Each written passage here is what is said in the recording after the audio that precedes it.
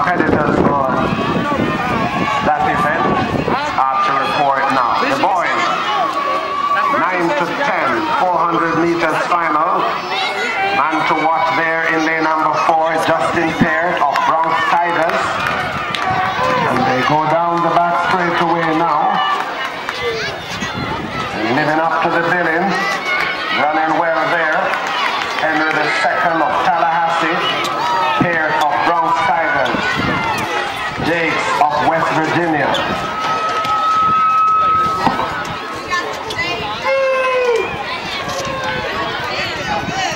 Rara the third of Tallahassee in this mix. Final 80 meters.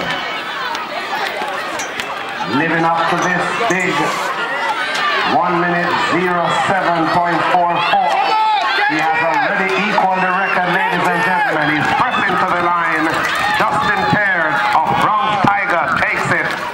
Give him a big hug.